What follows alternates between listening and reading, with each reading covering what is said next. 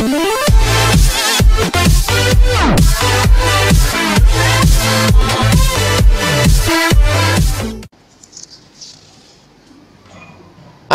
hukumnya mendengarkan khutbah Jumat tapi tertidur?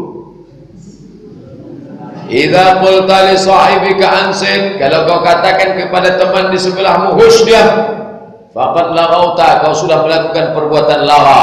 Wa man lara fala jum'ata lah. Siapa yang melakukan perbuatan lara, maka tiada Jumatlah baginya. Kalau saya katakan ke sebelah, diam dia. Yang satu lagi dari awal sampai akhir dia tidur. Mana yang lebih lawa? Lebih lawa tidur. Maka mana yang lebih rusak Jumatnya? Yang tidur. Memang dia tak ada nyebut dia. Karena dia memang dari awal udah tidur memang. Ada setelannya di sini. Asal khotib itu naik, Alhamdulillah. Barakallahu li memang udah ada setelan mindset otaknya di setting ulang setting ulang balik bawakan ke servis kom laptop servis